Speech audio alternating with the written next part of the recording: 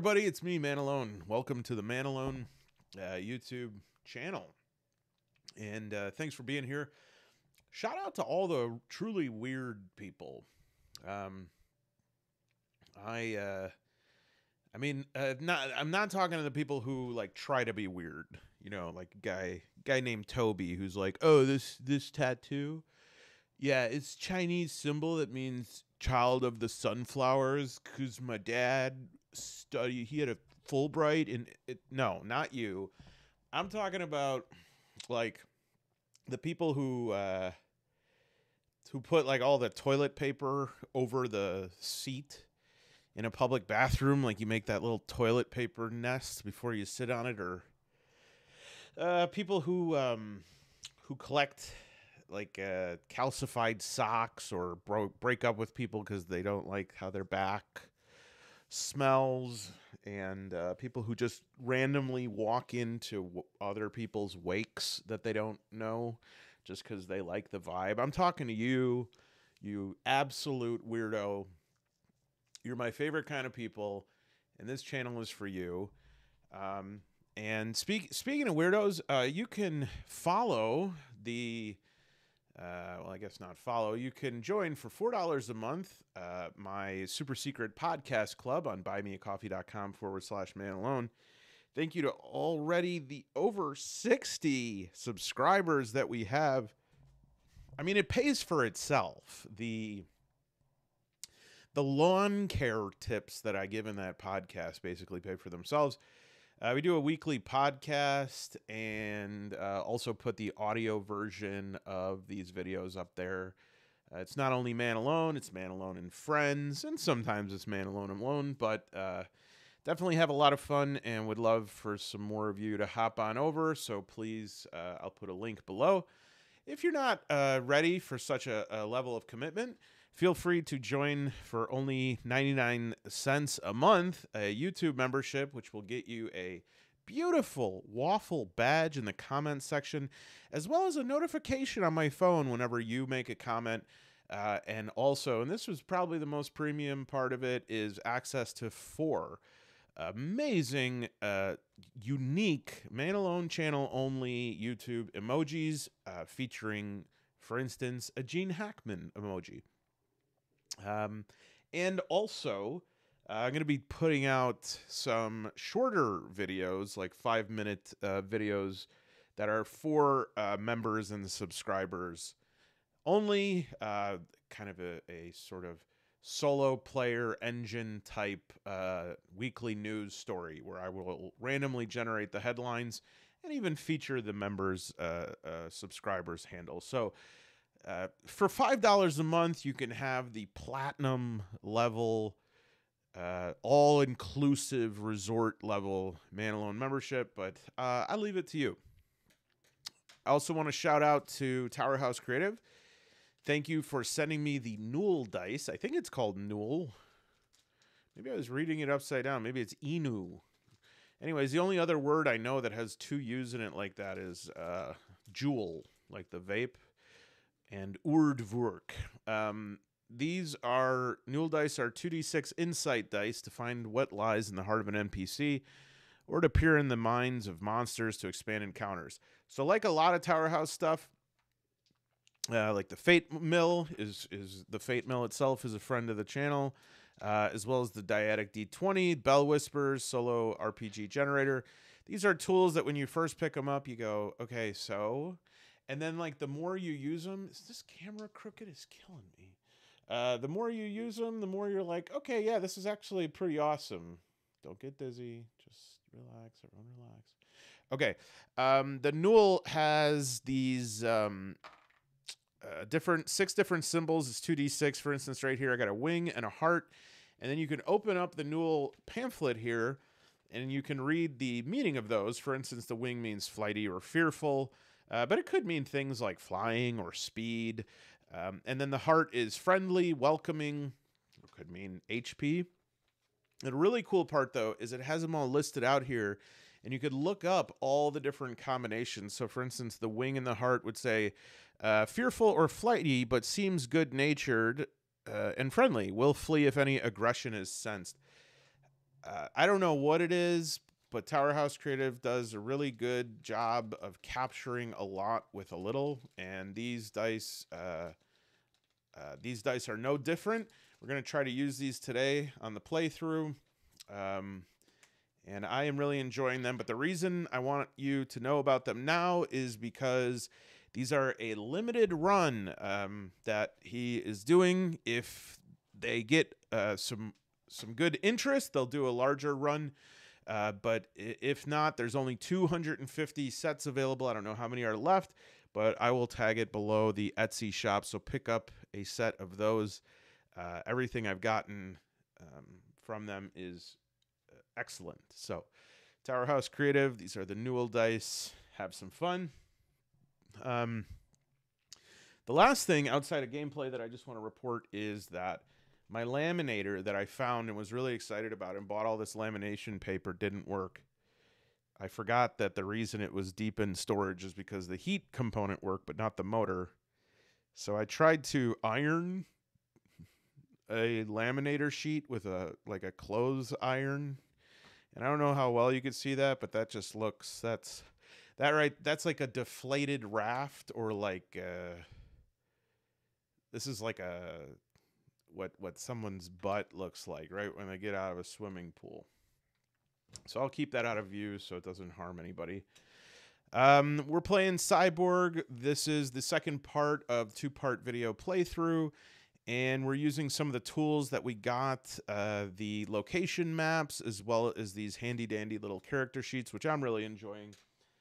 Uh, we did roll up uh, some info. So I'm a guy named Viff. Now, I did toggle it a little bit um, because what I realize is that if you generate a punk in Cyborg, and this is true in Mörk Borg too, uh, sometimes you really kind of get scammed a little bit in that you don't get some of the other features uh, that you'd get from selecting a class. So I'm going to honor the um, things that I got uh, with a little bit of changes. So the first thing is I, I set my my uh, class to discharge uh, corp killer, and I'm going to uh, roll on the tables for that.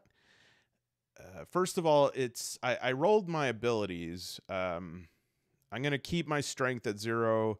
Agility was at negative one. I'm going to put that to zero because it doesn't really make sense to me to have somebody who is like a contract uh, henchman to be negative one for that, a zero for presence. I'm basically have a zero for everything and gave myself a two for toughness because two is going to be used with a D8 to determine HP, and I think we need to give ourselves a little bit of a leg up HP.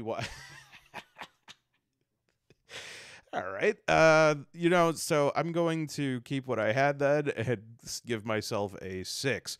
Uh, it was supposed to be D8 plus two, but that would uh, actually lower my HP. So we'll stick with what I had. Uh, I have 70 creds and I owe 6,000. Um, I took something from my employer when I left the force. This is a D6 roll here. And that's a three. My toughness plus five hand grenades and five flashbangs. You throw grenades with minus two difficulty. That's another uh, feature of um, the discharge corp killer is I get a minus one on any ranged uh, auto fire tests, and uh, I got three d six plus two for toughness. Oh, right. Okay. So I. Okay. So I thought that my toughness was 1d8. Uh, HP is toughness. Pl- okay. No, no, no. That makes sense. So toughness plus d8. So that'd be two. Okay, fine. Um, and then no nano, no apps. Uh, armor is D4 plus one. So um, if I don't avoid an attack, then I will be able to roll D4, add one, and take that off of the um, the amount that I'm hit for. Uh, let's see my deployment. What was my deployment when I was a corp uh, henchman? Number one, I was an urban infiltration in Psi Central, and I know that area well. That will probably be useful. Um, D2 glitches, I got that. So, okay. Uh, so all I have to add then is that I've got uh, toughness plus five, so seven flashbangs. Oh, seven hand grenades and five flashbangs. Wow, that'll be nice. That'll be really nice, especially solo playing because hand grenades tend to level the playing field. Five flashbangs. Okay, this looks good for a solo uh, loadout here. I think I could probably do something. I think that this collapsible ladder is actually Cybertech. Um, in fact, I will put it there because my uh, my encumbrance is strength plus eight, so that would be eight items. Um, and I'm going to count the. I'm assuming that like those hand grenades and flashbangs uh, are both one item apiece. Uh, I don't care too much about encumbrance. Never have. Oh, by the way, I've been reading these uh, two books. Regrettably, it's only two books, and they're they're sort of novellas, and they're they're called uh, um, "I Go by Night" and "Last Train to Perdition," and they're by Robert McCammon, and they're about a like half-turn vampire cowboy bounty hunter, and they're awesome. So please check those out. I don't know if any of you read. To remind everybody, um, I don't know if any of you read. Uh, it's a hobby for intellectually gifted individuals. Uh, Adra, a bureaucrat who kind of wanted to get out of the game, uh, hooked me up with this job that um, I have to go into a sewer for that has some nano infested algae in Sparta and Svart House Sparta um, is it's to the northwest I know. Let's see if we can get the map here. Uh, uh-huh, uh-huh. okay so uh, we'll have to go through this little thoroughfare here and Sparta is going to be right there. Um, there's going to be a lot of people around. There's a street gang running security.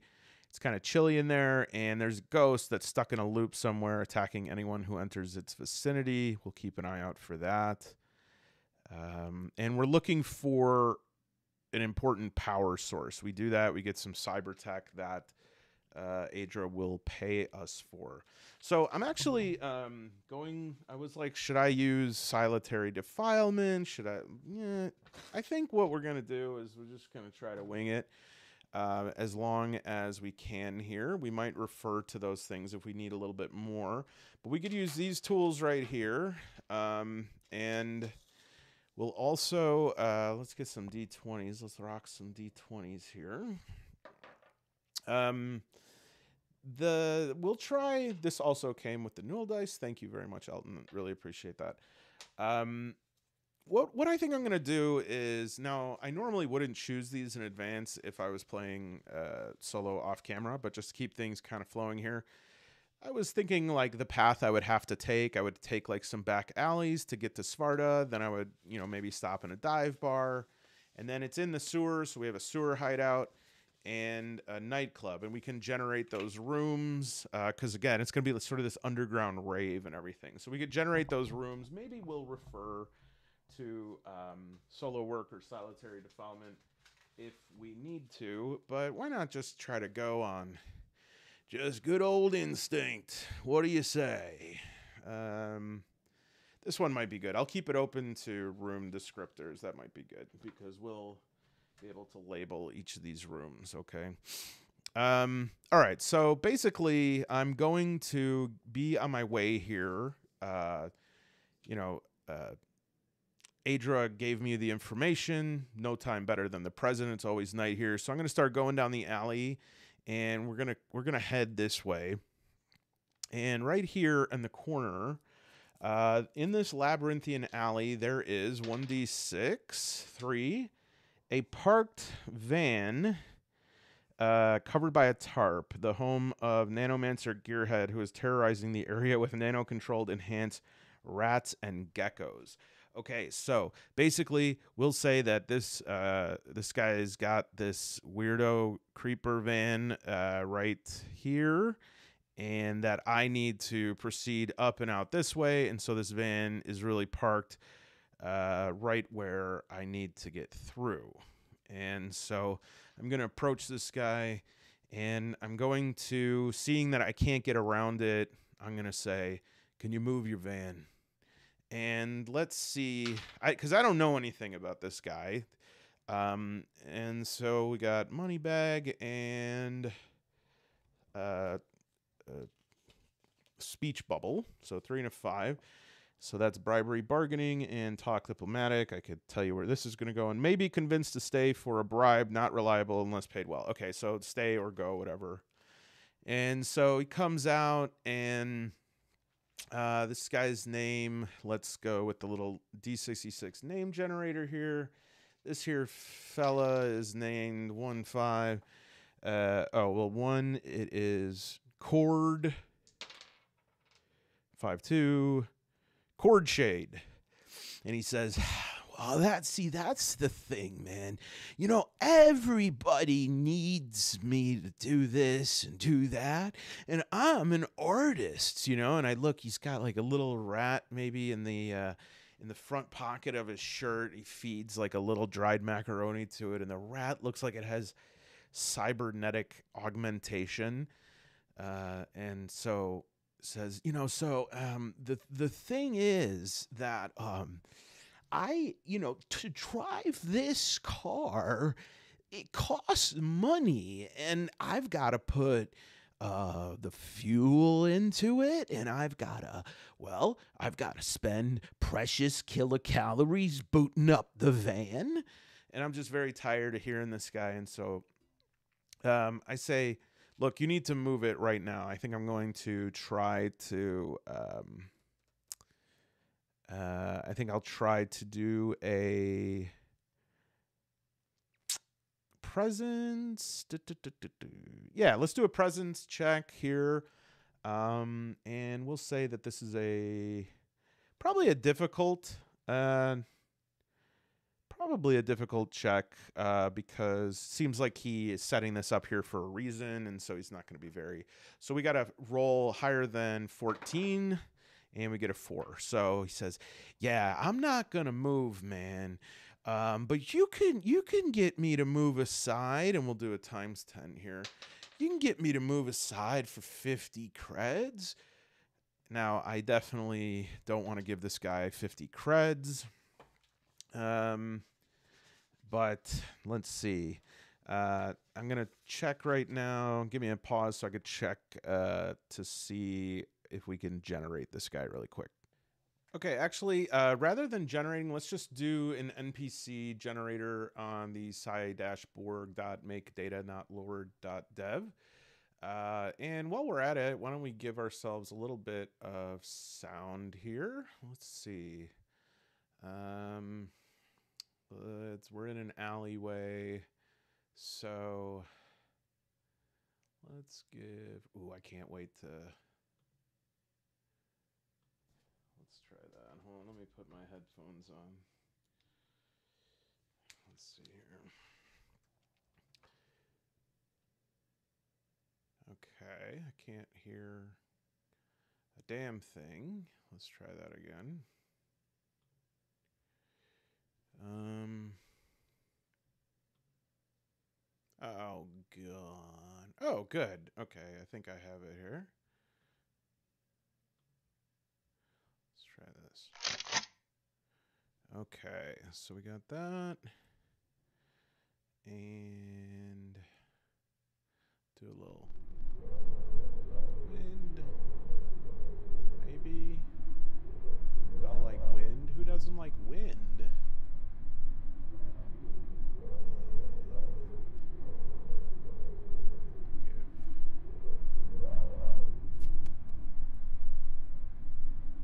have sworn I had some uh, like eerie. Oh, here we go. Eerie streetscape.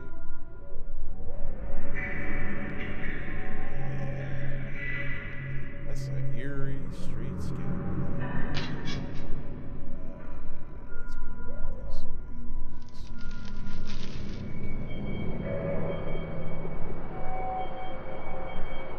Uh, okay, please hold.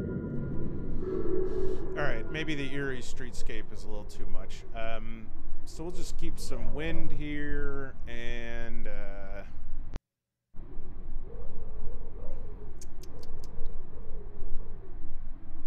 okay, that's good. Anyway, actually, that's well. we'll just keep we'll just keep this in mind to see when we uh, when we can use that. Uh, all right, let's do uh, click to reset here. So Juke, a fixer, trad punk with an interesting perfume, finds a new obsession. Currently obsessed. We're gonna say that uh, they're obsessed with nano-controlled enhanced rats and geckos. Lives in the slums, tripping. So really, I just want the stats here. So we'll say that um, HP nine. Morale 7, which I don't really use. No armor, cyber deck, assault rifle with a grenade launcher, D8 automatic, uh, and grenade. Okay, this could be a tough uh, this could be a tough cookie. Um, that's okay. So um, HP 9 and morale 7 and no armor and then has a D8A uh, and has a, a D8A automatic rifle and a D6 grenade. Uh, has a nice fake ID and can fake an alarm or location to a triggered alarm. Fine, it's good, love it. Um, so uh, obviously that wasn't uh, able to work, and so I'll say, uh, you know what? Actually, uh, I'm just gonna go in another direction and um, what's this? Juke says, "Oh man, you know what? Actually, now that I had to explain this to you, you gotta pay the fee for information." And he sort of gets right in my face. And so I'm gonna sort of nod very sort of uh, un un um like very casually, just so that I can get a little bit of a drop here. And I'm gonna go ahead and do a straight up. Um, I'm gonna open up with. I've got no time to waste. I'm gonna open up with a punch to the fotch. Hit a 15. That's definitely gonna hit. Um, and once we once we do that. Uh, we don't have a crit. I guess um I guess uh, uh, fists were uh I thought that fists were just uh like something in in Mörk Borg which was like I think a D4. Um but if we look at weapons on 58 it should be able to tell us. Okay, weapons D12, you also begin with one of these. Um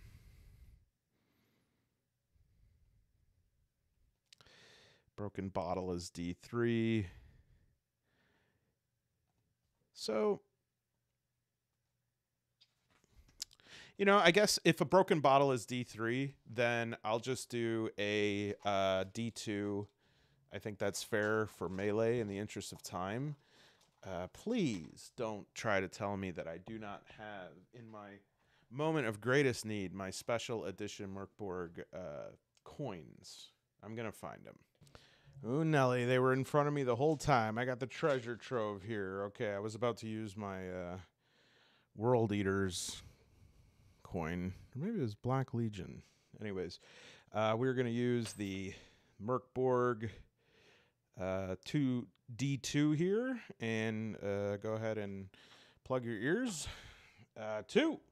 So we're going to take two off of this uh, jerk wad. Yeah, let's get Let's get some. Um, now, just so you know, I'm going to play as long as I can until I have to go to work. Because I have to go to work. Um, get that. Like that. Um, too bad we can't. Uh, I still want cyborg style, uh, these little wooden uh, figurines here. All right, this looks good. Ooh, there's another nice uh, D2. I like this one. Disaster, disease, death, destruction. We'll leave that out just in case. Oh, how could I not use this one? That's one of the coolest looking. All right. Um, I also have my. I don't remember where I got this, but this is a.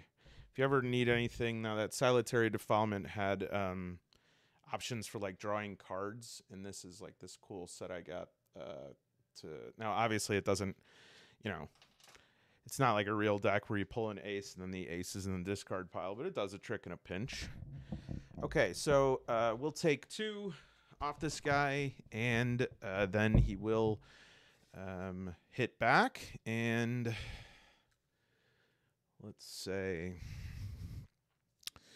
let's see here. So basically, uh, what what you know, because it's only me rolling in in Cyborg as it is Morkborg, um, I will roll agility to uh, sort of attempt to get out of the way, and it's usually a DR 12. And if I fail that, I'll roll uh, armor if need be. Let's uh, let's clear the area a little bit here. Okay, I guess I'll keep this Caltrops. Keep that. And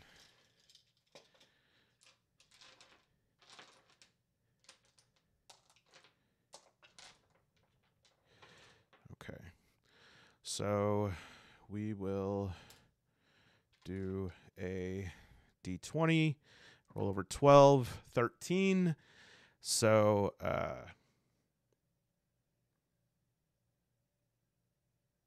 hmm. So might, yeah. So that was my check. So I definitely uh, uh, dodged that. So I'm I am going to uh, take a step back now, and I'm going to use um, my pulse rifle uh, which is a D10, and it's automatic. And automatic's kind of fun. What you do is you test agility DR12 to hit, and hits allow another attack. So if I succeed, I will roll another attack. And then because I'm a, a corp killer, I have uh, a my difficulty rating goes to 11 with attacks. So I'm going to go ahead and try to. Hmm. Well, it really doesn't matter because my agility, strength, presence, it's all zeros. So uh, yeah, we'll try auto fire test agility DR 11 to hit and 13. So we do hit with that. And the one thing that I'm not certain about is what, um, let's see here.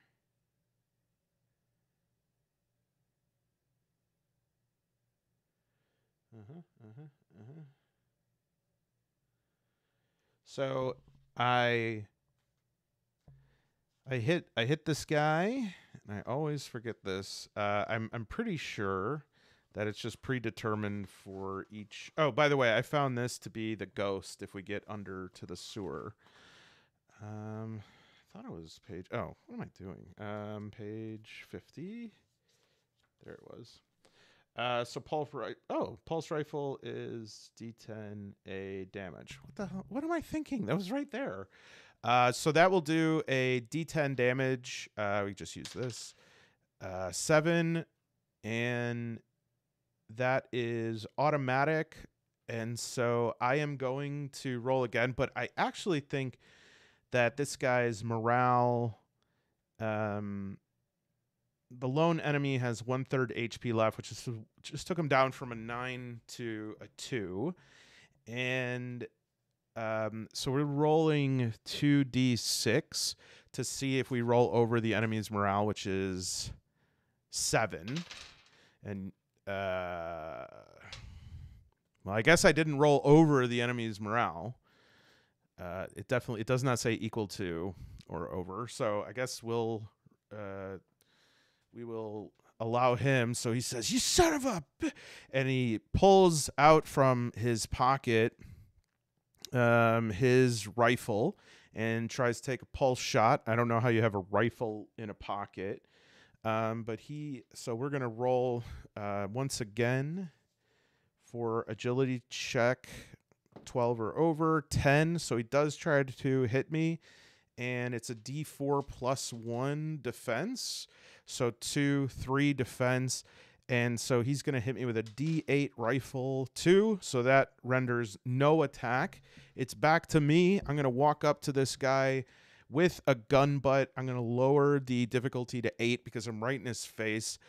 And I'm going to say, here's my here's here's your payment keep the tax and we'll put the difficulty down to an eight and we rolled a one how embarrassing so if we roll a one that means that i roll a 1d6 i got a four so that means that uh, i misfire and my weapon breaks great so my pulse rifle is currently broken and he is going to do the same and attempt a to kick one of my shins, and he misses that.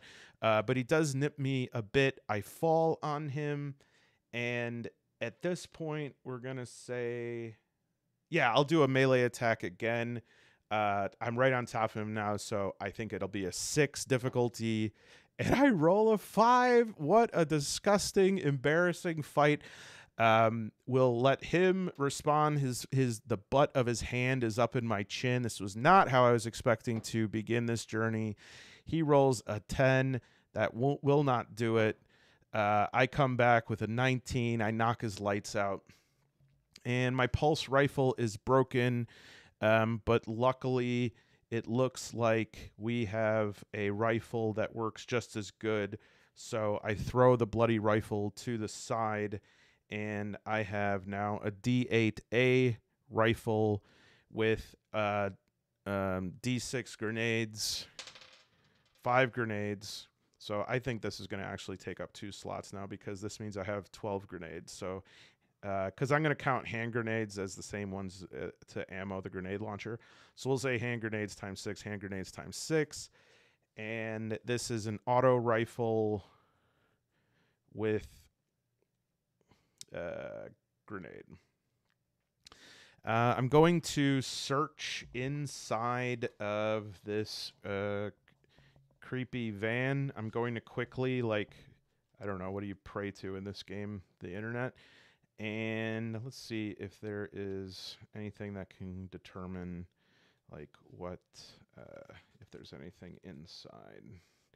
You know what? This might be a good time to grab Solitary or Solo Work. One second. Okay, I think I could use solitary defilement to si- kind of use the uh, verb and noun oracles to see like what's going on inside the van. Uh, but also, there is this pocket lint uh, D66 list in the front of the book, which is like a scavenging kind of loot sort of D66 list. So let's roll on that first um, and just see if there's anything that we found. But I did also remember, or I guess I remember that I forgot that we have to do miserable headlines. Um, how we'll do this, I think, is um, I will keep like a threat counter.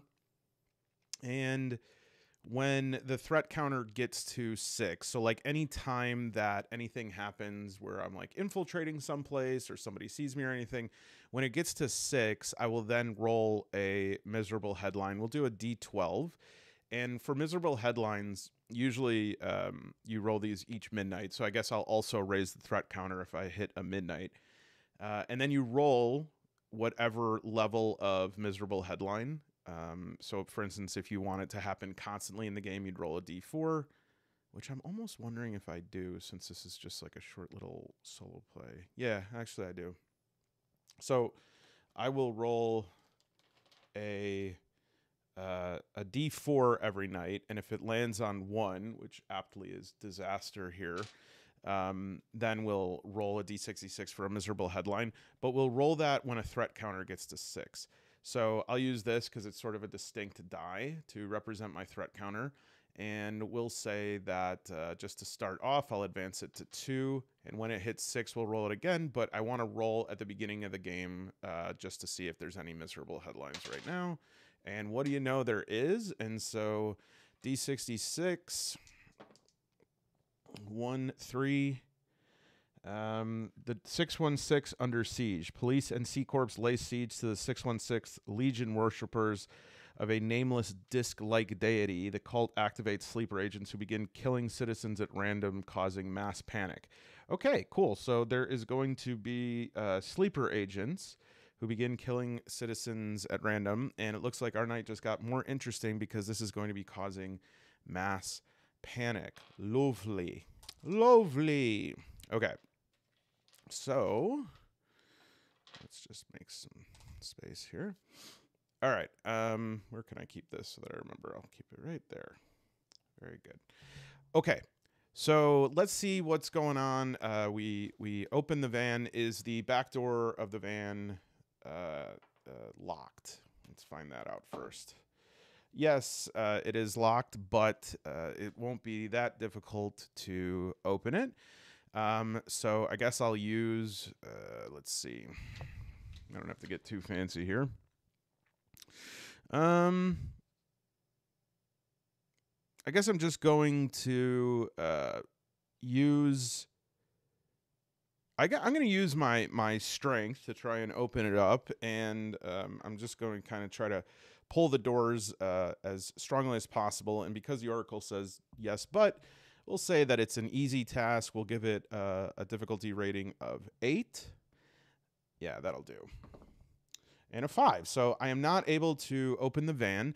Uh, is a window down? Am I able to reach in and grab anything? Uh, maybe. And uh, okay, so we'll say maybe I could. Uh, but if I do that, I would have to do it at the expense of raising the threat meter, which obviously I'm an adrenaline junkie, so I will do that. And now we'll roll on the D66 um, to see gosh, I need more room. Um, we'll roll the d66 to see what uh, what we can snatch out of the side window here. All right, one three nothing. And I guess just for uh, poops and giggles, we'll roll on the, the D100 prompt oracle. I'll use my uh, Tower House Creative Dyadic D20 dice for that. Um, and we'll roll a d100. And so to roll a d100 there, you use the black die for tens and the reds for ones. Um, so for instance, the result of four on black and three on red is 43. Zeros are zeros, not 10, and a roll of zero, zero is 100. Okay. So we'll say that is 77. Uh, perpetuate. What is being perpetuated by this van? Is this van perpetuating oppression? 74. Did I just roll 74 twice? Is that possible? No. Um, perpetuating nightmares. Yes, I would say it's a very creepy van that you don't want to see riding down the road. And I get a shiver up uh, the, the nape of my neck and I say, let me move on from this van. Here's something interesting though, and uh, if if this is a yes, it's going to complicate our game potentially very much. Does this van run? Am I able to operate it? Yes, but you can't get inside.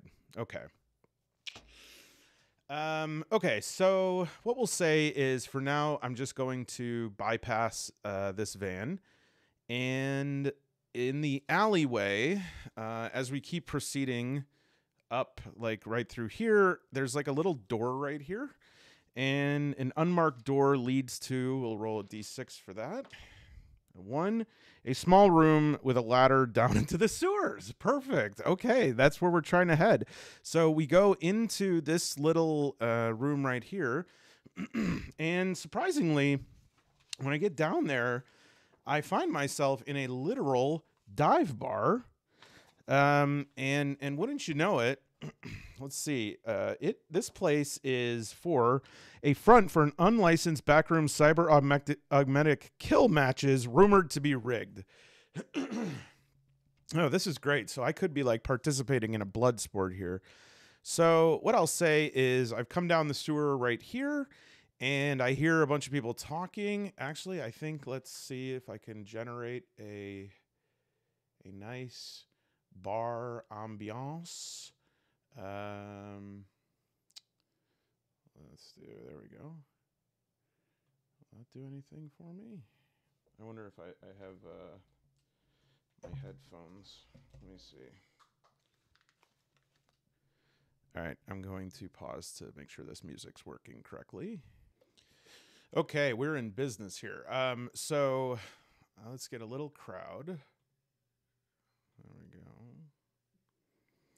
And uh, no, I don't want that too loud. A little bit of that.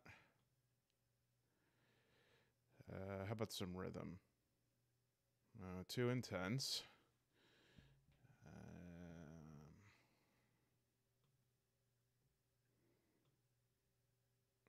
go. Except it doesn't show any audio capture happening. Uh, so I'm imagining on your side you can't hear anything, which is great. There we go. Okay. Uh, so I will. I get down and way too much uh, of a door opening there. That is a very intense opening. I'm trying to find out if I could put any sort of uh, music here in the background, and it's uh, too much, too much of a waste of time. We'll come back to it. Um, okay, so I walk down the hallway here, and I enter this room, and uh, I'm wondering. There's a section here called data. Let's see.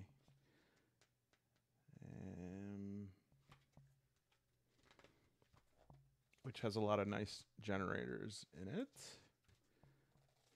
And location. Bar somewhere in security complication location features. Uh, so a dis- this is a D10, so we'll say a distinctive feature. Roll the black and the red. Uh, the zeros are 10. Okay, so we'll we'll just say Oh, oh. Well, we're rolling the bla- the black or the red. Sorry. I'm making things more complicated for myself by reading off of a card on how to roll a d10, which I already know how to do. Okay, so the distinctive feature is it's under renovation, paint buckets, scaffolding, and everything spreading around. Great. That's really nice when an underground sewer bar has enough, uh, like their their business is doing well enough that they can um, renovate. Because usually with places like that, they just kind of take what they can get, and so I think it's maybe they have that show Bar Rescue come in, like, look at this, you're in a sewer. Uh, but it has a hidden feature as well of five uh, a small data node that leads into low res virtual hellscape of a dying world. A terrible monster guards a large credit stash. Okay, so I'll let you know if I'm going to go and plug into that node. Uh, and it has an additional danger uh, for tech use has a 50% chance of triggering an electrical fire. So if I did want to use uh, that to, and you know, maybe it has this. Uh, it says that this place is an unlicensed uh, backroom has backroom kill matches. Maybe that could be like a uh, a virtual sort of um, a virtual. How would I say this? Combat blood sport. Um, and as I walk in, I attract the somebody looks over at me. Nothing too big, but I can see. You know, I'm a I'm a, an accomplished uh, mercenary, and so I know when somebody is glancing over at me. And this individual is this will be fun. Um, this individual is going to be 50 a mimic so a mime. 52 um that has lace trimmings. This is the future ladies and gentlemen. So a very sexy mime with lace trimmings. 21 uh who is a developer a software developer okay and is obsessed with seven eight uh, oh wait, 87. Um, vintage army jackets. This is the most unique human being that has ever lived, and they have a a quirk. Don't you know?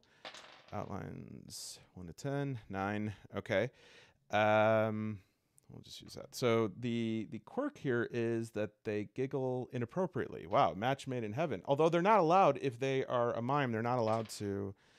Um, eighteen, and they really want self transformation.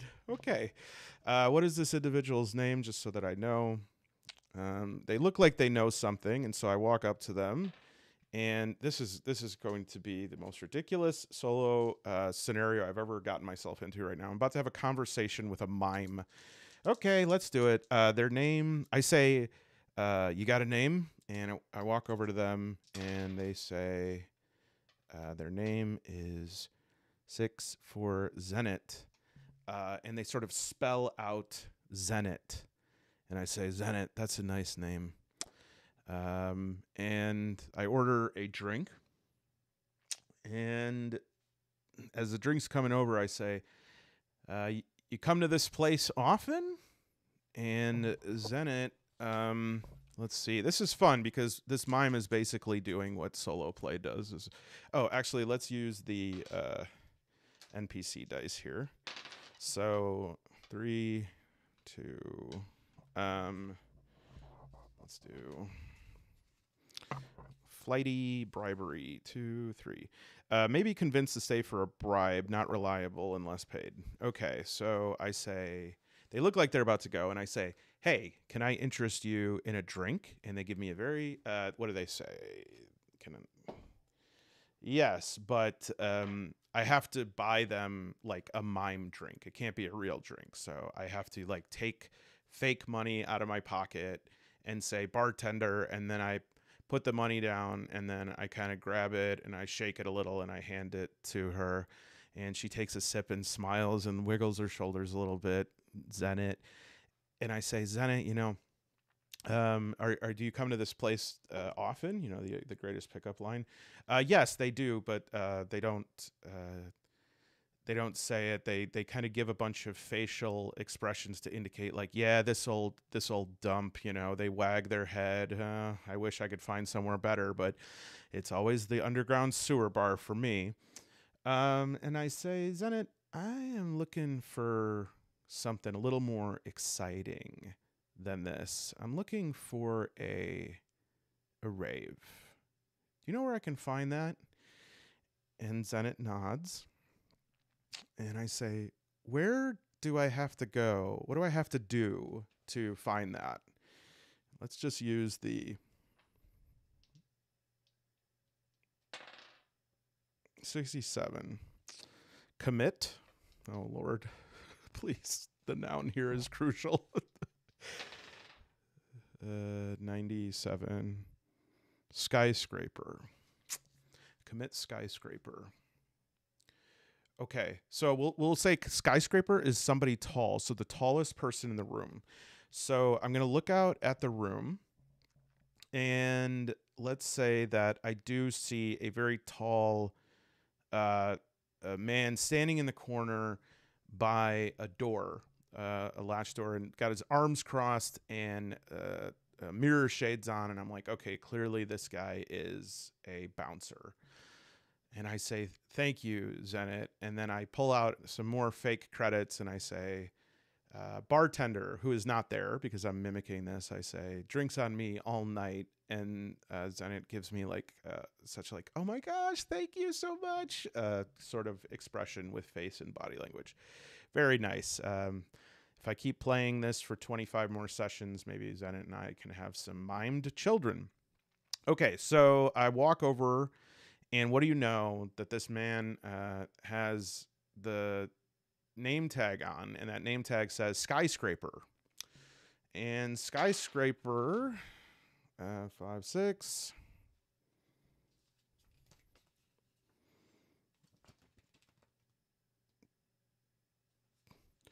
Talking is the best way to interact. Oh, this is so fun. Talking is the best way to interact. They will share information you don't expect because they are just so helpful. And so I say, uh, Hi, is your name Skyscraper? And a big smile comes across his face and he says, Yeah, that's me. And I say, Skyscraper, I'm looking for a party. Do you know where that is? he says, Oh my gosh, yes. You've got to go to the secret rave down in the sewers. And I say, Well, how do I get there? And he says, Well, you just go through this door right here. And I say, Gee, thanks. Do, do I have to pay a fee? And he says, No, you seem really nice. I'm not going to give you a hard time at all. And I say, Great. And I walk right past Skyscraper and this thing that we, we totally thought was going to be maybe a combat conflict is nothing. Uh, I go right on by but as I am about to go in, I notice on the floor of the bar that there is right at the exit. So so let's just say that uh, you know there's some booths right here. Here's the bar. Skyscraper is right here. And so as I'm going through into this room, and there'll be a staircase down here, on the floor, I notice a five, a shot of bad red juice, test toughness, DR12, or gain an infestation. Great. 17. Okay, so I did pass that. Um, although toughness. Oh, yeah. So that should have actually been plus two. So we're good with that. Um, and as I take a last look around, just because I don't know if I'm coming back here, among the patrons, there is two. A doppel hiding among a group of goons, murdering them one by one, stacking the corpses in a bathroom stall. Great. None of my business. I'm just going to carry on. And so we're going to proceed down to the sewer here. Uh, and this sewer, we, we know that there's some nano infested algae here. But also, if we look back to our original uh, generation here, if, to recall, we're, we're looking for a piece, uh, uh an important power source. A street gang is going to be doing security and there's sewer tunnels with nano infested algae in Sparta. So right away, these are nano infested. I'm going to go ahead and increase my risk a little bit just because I'm in the danger zone now. It's pretty cold down there, and a glitching ghost is stuck somewhere attacking anyone who enters the vicinity. And so, what I'm going to say is, um, in addition to raising threat meter now, I'm also going to roll a let's make a d8 and if I roll a one on the d8, then the ghost will attack. And I actually did find a nice entry for this. Uh, if I do get into a conflict with that, and in usual man alone fashion, I probably won't be able to find it right now at all. Uh, but there is a nice entry uh, for a ghost, um, like as a um, an NPC that you can have a nice uh, fight with. Um, I swear, I swear on my mother's best shoes. Okay, ghost. Yeah, so this will be the ghost that I will uh, uh, have a conflict with if I roll a one on that d8, and we'll roll that every time I increase the threat. Okay, so I'm going through the sewer, and in addition to stuff we already know, there's algae there. Uh, but this is a hideout also of three, a group of nano freaks and the lost entrance to an ancient and mostly forgotten nuke shelter. I think this nuke shelter is where this rave is going on. These nano freaks are the ones that are doing this testing, which is leading to this algae flowing through here. So I really have to uh, stay by the wall. So I would say that every room that I go into, I probably need to do an agility check, and we'll make it at a ten. And um, if I if I fail that check, I get some nano infested algae in me, and I'll say as well that that is also going to be reason to roll. Uh, just so that this is in frame here. There's the threat meter and if I get if I fail a uh, agility test in each room, I will roll the d8 and potentially, uh, without raising the threat meter, but I'll roll the d8 and uh, uh, if I roll a one, I'll the ghost will start uh, pursuing me. Okay, so we'll do a dr10 to start. 12. Very good. So no uh able to not touch algae here in the main hallway. And we are going to let's see. Um let's uh, put it up to fate here. I'm going to say 1 to 3 I'll turn left, uh 4 to 6 I'll keep going straight. 4 to 6. So I'll keep going straight here. And same thing to the left is uh, well, actually to the right is um, I don't know what to the right would be. So we want to find the nightclub, and we're gonna say that. Um, well, we'll we'll find out. We'll we'll we'll let it develop. So um, I'm going to go to. Screw it. You know what? I have faith in myself. We'll go to the right if it's four to six, and we'll go to the left if it's one to three. Okay, so we go to the left. And to the left here is a room. And this room, I can take. Uh, am I able to see inside the room? Maybe. So we'll do a. Uh, we'll see maybe some limited information uh, from this room here. So in this room, in this room, uh, one. There is an anti nano propaganda everywhere. okay, so we have these nano freaks. And oh, okay, so this room has like all the evidence of people that are anti nano, and these guys are really pro nano. And so they're looking at all these pieces that um that uh these you know anti nano people are putting up and they're just sort of plotting their revenge. Uh, do they notice me? Uh, no, and I'm able to move on if I'd like to. Um, and I think that I will, but I will note that in that room uh, are some real freaks, um, and we'll keep going. Okay, so we don't go in that room. We're going to go here and to the right here, this room. In this room, in this room, four is a shrine dedicated to a pair of two-faced AIs. Very interesting. I'm. Uh, is the room open? Yes, uh, but I will have to speak to somebody at the door.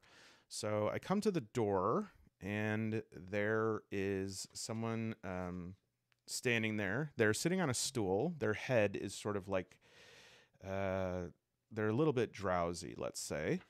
And I am not certain if they have noticed me. Um, but let's say that they let's let's take a look at them and see what they look like here. So we'll say that they 41 are uh, a hex core. Okay, so they love doing spells, and I my character loves doing talking about rituals.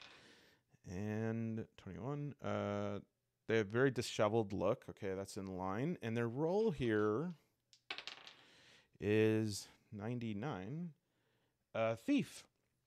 Uh, okay, and I don't care about their obsession, but let's find a quirk here. Their quirk is that they scratch their facial scar, and uh, they do they notice me as I walk in, or am I able to walk by? Actually, I think that we'll do a check on that. Uh, I'll do a presence, and since they look a little bit, uh, sorry, since they look a little bit sleepy, we'll say that uh, difficulty rating 10. 14, so I am able to sneak by them, and I see this shrine dedicated to this pair of two faced AIs. And uh, let's see, is there anything in the room? Let me actually uh, do a presence check again. We'll do DR8 to see if there's I can see anything around. Uh, 18, indeed I can. And so let's do a quick 66 to see if I can find anything just lying around. Uh, 16, nothing. Again. All right, that's fine. So I walk in and uh, I see this two faced AI, and there's a placard in front of it. and this placard has a message on it, and that message is about 36 uh, Ghost. Oh man. Okay. So this is this sort of uh, shrine that this this placard says um, those who do not worship the two-faced construct will be made into a ghost by a ghost. So I'm going to head to raise the threat meter a little bit. This room is uh, kind of eerie, kind of creepy. I'm going to go ahead and back myself out of it and uh, DR8 to see if I can get past this guy again without uh, arousing his suspicions, and 7. So he does wake up, and let's see what is his uh, disposition here. Flight, flight. Okay, so maybe this dude just runs the hell out of there. Um, will flee if sighted, elusive and afraid. And so he goes, ah, ah! Um, but he is a thief, so I do have to ask, um, uh, did this guy steal anything from me? You know, what a what a distraction to pretend that you're terrified and run away. So let me see if I have presence test DR10 and 11. So did not steal anything from me, legitimately afraid, ran down the hallway. But however, I will say that just, you know, yelling and screaming, that's definitely going to raise my threat level a little bit. So we're going to roll and eight. Okay, so no um, no ghost uh, picking us up. So we're back to one. That's a little bit of relief. And we're going to continue down the hallway here. Um, and in this intersection right here, one to three, we go left four. So I go straight. And in uh, in this room is sort of this. Oh, we have to um, roll. I'm sorry, we have to roll two agility tests because I didn't do that in the last room. Uh, to make sure that I didn't touch any nano algae. So we'll do DR10, pass 11, and then in this hallway, 18. So no no advancement of the threat meter, no algae uh, is is clean to me. I'm getting very lucky. And in this room is like um, some. It's weird. It's like uh, earth, like a pile of dirt that somehow fell through the ground into the sewer and it's mixed with the disgusting sewer water and lost within this dirt is one a machete nice so we will definitely pick that up and let's see uh, a machete Let's see if I can just really quickly get any info on the machete. Maybe it's Danny Trejo is laying there. Pick me up. Um, okay, machete is D6. Nice. I'll take it. Um, love, love me a good melee weapon. Okay. So, um, advancing onward, we are going to go into this big room right here. And I'm just going to take a little pause to see if I can find another uh, location generator that fits this. One second. Okay, cool. So we'll actually use a dungeon room descriptor. And this is what you get for not trusting the uh, solitary, uh, the supplements. Uh, they actually have a bar generator in here, which would have been nice, but the pass is a pass. We need to move on. So we're going to do a D20 uh, outline is 10, solid is ones, and see. Let's do a D12 first to see like what kind of room this even is. So this is a six, uh, a stairwell ladder elevator shaft. Okay, so let's just say maybe there's like a a group of elevators here that these little dots are different elevators and they're just sort of ding ding and they're going to a bunch of different floors so obviously this is a hub for some sort of secretive superstructure.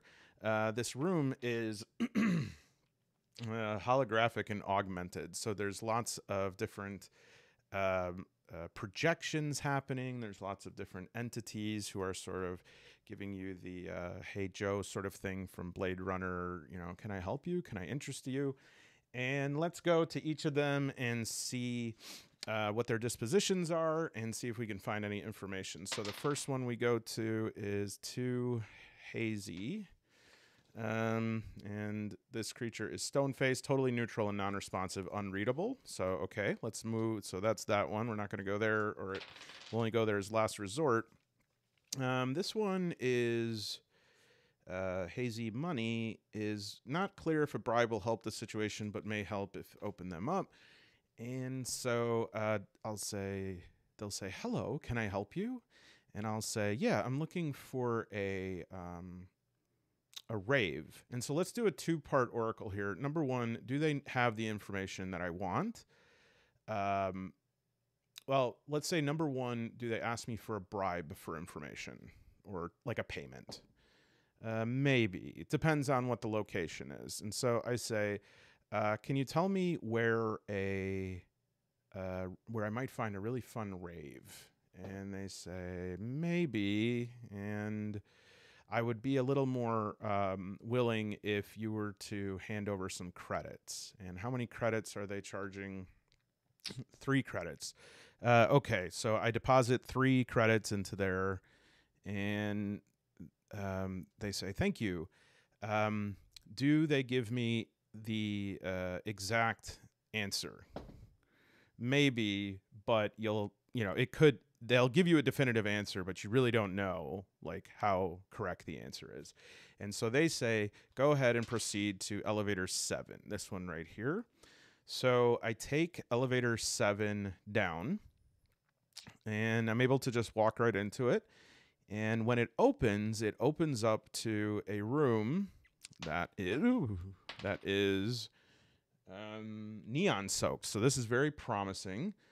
Um, and we will we will just make the executive decision here. This sounds very good. Um, that this is the nightclub. Okay, and so in this nightclub, uh, there is six a well obscured recruitment center for fideistic transformation disguised as a nightclub lecture hall for early adopters and teen enthusiasts. Um, pause. Need to look up that word. Okay. Um, uh, the doctrine that knowledge depends on faith or revelation. Okay, so it's people selling illegal uh, drugs. Got it. Yes, yes, I understand. Your recruitment center. You want to do spiritual revelation. Very cool, very cool. Thanks. I'll let you know. Um, and so I am not dressed for the event, so we'll put the threat meter up to two. And we'll say that um, I enter here and I enter, this is like a little bit of a lobby, uh, or, or I should say like a foyer.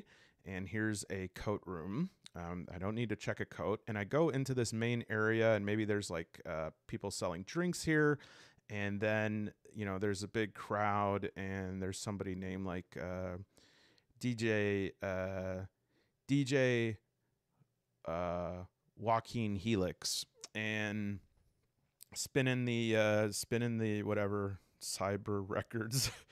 um, and so this like little lobby area. Uh, let's get a description of that. This is a it's sterile, minimalist, and elegant. Isn't that so interesting? Okay.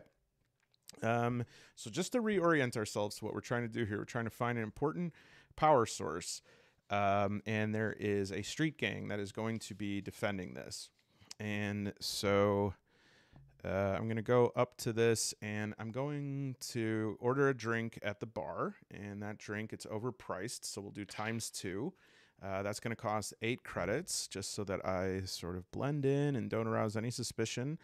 And uh, I say, okay, uh, to the bartender, I say, hey, I'm looking, uh, I'm looking to talk to uh, who runs this place.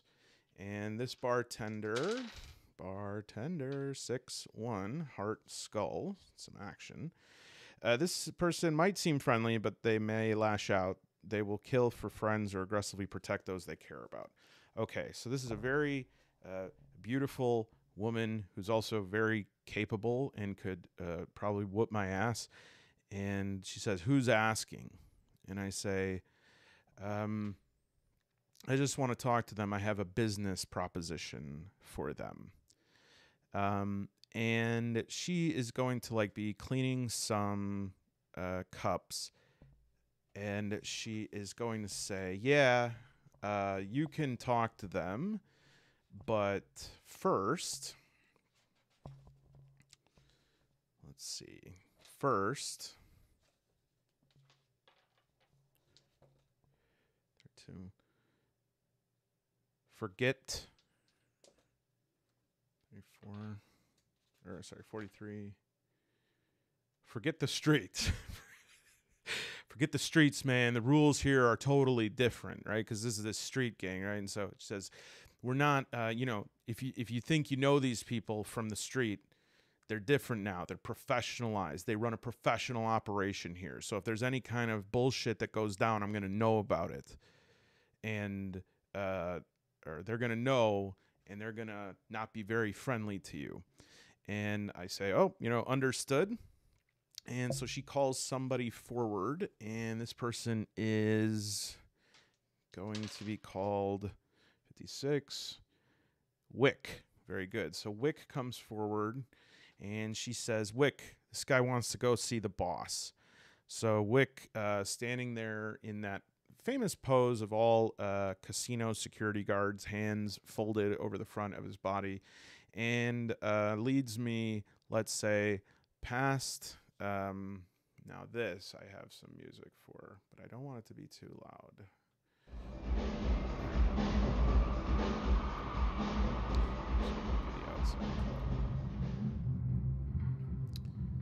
Okay. So, uh, this guy, Wick, which I don't know if it's Wick or if he's like uh, just uh, of a language background where Vic sounds like Wick. Um, but Wick or Vic is uh, pretty pretty cool cool looking dude. And by that I mean he looks like a total nerd. Like his suit fits too large uh, his suit is too large for him. And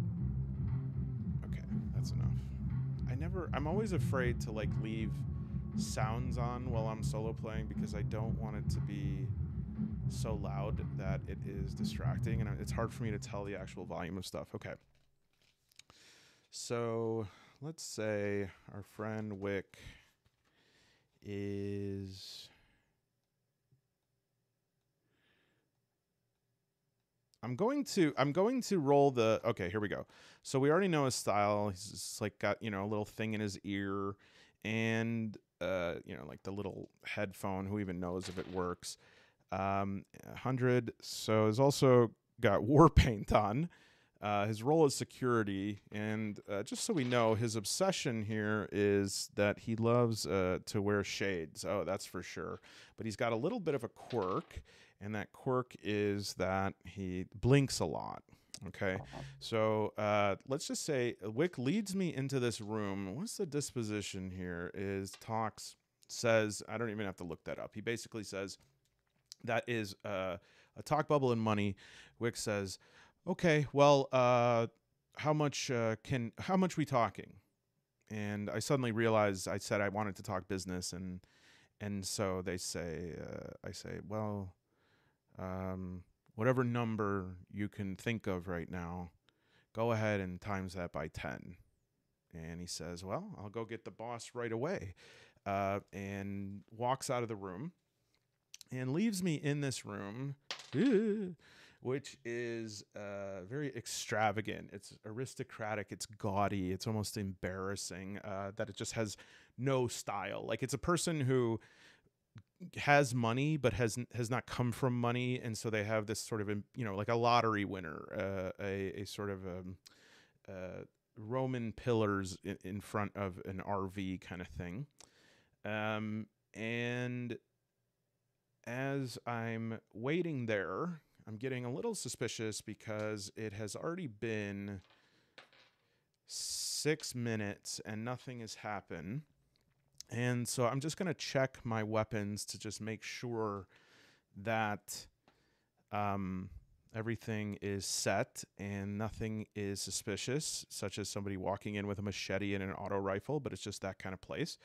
Uh, and then finally, the door opens, and in walks um, a man who does actually look like he knows what he is talking about, um, and says.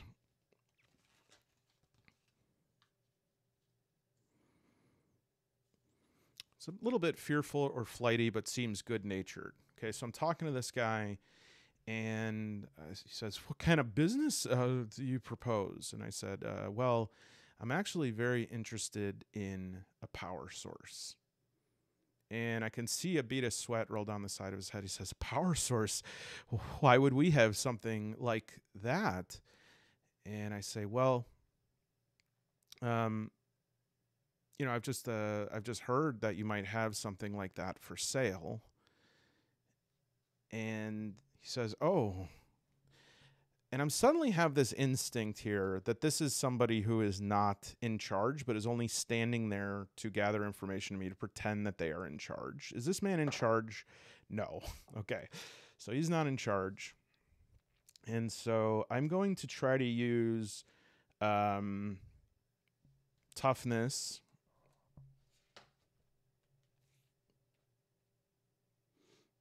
Mm. Let's see. Yeah, I'll, I'll use toughness. I'll use toughness to try to intimidate, and we'll do this is kind of a wimp, so we'll do DR uh, eight, and then I'll give myself plus two. Uh, seven plus two, nine. And so I come up to him, I grab his shirt, and I say, I think that you don't know what you're talking about. And I'm a person that needs to talk to somebody who knows what they're talking about. So I'll tell you what, why don't you go get whoever is in charge and bring him back here? And I better be talking to somebody serious. And he says, Yes, yes, okay. Walks out of the room, walks out of the room. And I'm in this room alone again. And and I am I am starting to feel like maybe I'm getting myself in over my head. Maybe I shouldn't have intimidated that guy. And um, uh, finally, I get restless and I'm going to walk out of this room and I'm going to see what's going on. And as soon as I uh, walk out of the room, uh, the bartender who was right here says, Hey. And I look over at her and she looks to the left and she says, uh, uh, to an associate of hers, she just nods and this guy runs up on me uh, and has some sort of small uh, weapon, we'll say. And I'm going to see if I can. Um, oh, good. A bouncer. This is perfect. So we'll do a bouncer who has um, morale 8. Oh, sorry, that's HP 8. Morale 7. Has minus D2 armor vest and has a shock stick. This is great. Um, D4 toughness, DR12 or fall. Okay, so he's going to come up to me with a shock stick, and let me do a presence check. And he's got the drop on me, so we're going to say that this is a 14 presence. And I hit a 19. Okay, so I am able to dodge this guy. And I'm going to initiate combat here because this is somebody who is coming after me. And you know, nobody in the well, let's say this. Um, do, do the people around me like notice is this irregular for them? Are they going to react with fear? No and in fact a lot of people just like keep dancing slowly next to me as this guy uh, just attacked me missed and uh, for initiative now let's do d16 uh, or sorry 1d6 uh, and a 3 uh, enemy acts first and so I will do an agility check. He recovers and does backwards sort of spinning of the shock stick again. And let's roll um, agility. You're 12, 14. I missed that. He swings, makes no contact. And I'm actually going to uh, swing with the machete, which I know is kind of crazy, but let's just try it out. 13, beautiful. So I actually um, go ahead and hack, um, uh, let's just say one through three, an arm and uh, four through six a hand. Perfect. So I lop this guy's arm off, and that's going to be a d6 damage for four. And so I've taken this guy down to four, and I'm going to roll for morale, which needs to be over seven, six. So this guy's like, no, he's still coming at me. okay, so good. So uh, he's down to four HP. He's got an arm that's on the ground. Uh, is he human? Yes, but clearly he's on a bunch of like combat stims or something like that. Uh, very good. Oh, you know what? He's minus D2 uh, armor here. So maybe I didn't take four, which is kind of wild. Uh, a one. So um, takes three damage. So he's actually down to five.